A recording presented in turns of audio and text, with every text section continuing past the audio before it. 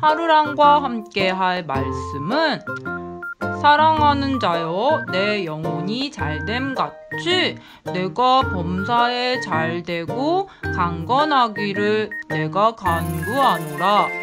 요한 3서 1장 2절 말씀. 아멘.